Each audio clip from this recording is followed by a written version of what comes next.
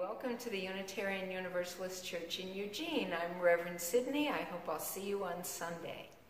I'm Katie Seipert, Director of Religious Education, and we're so looking forward to having you here. We've got banners, a banner parade, and our topic today is our monthly theme. We're talking about covenants, the agreements that we make together so that we can live in peace and work for justice.